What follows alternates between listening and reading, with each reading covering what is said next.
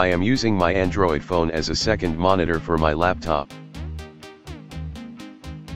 Now I will show you how to do it.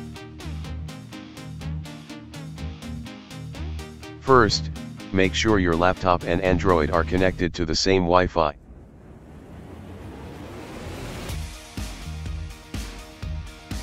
Now open the Chrome browser.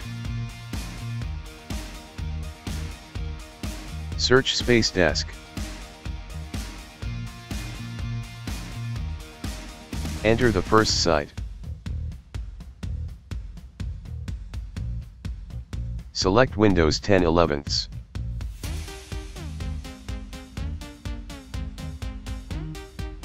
Download it now.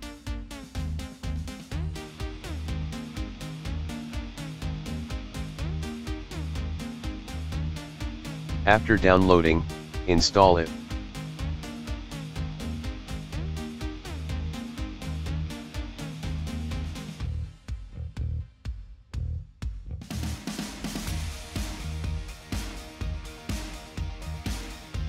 Now go to your phone and open the Play Store app.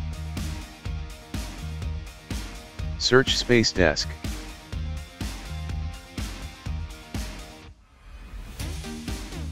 Install it now. After installing, open the app. Here you can see that the laptop device is showing up on Android. Click on it and your Android will connect to your laptop.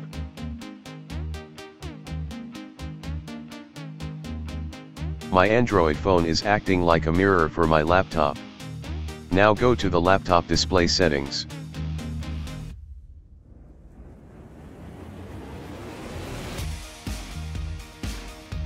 Now select extend this display.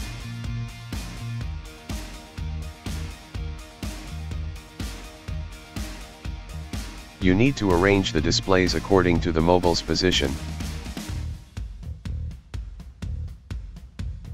Now you can use your Android as a second monitor for your laptop.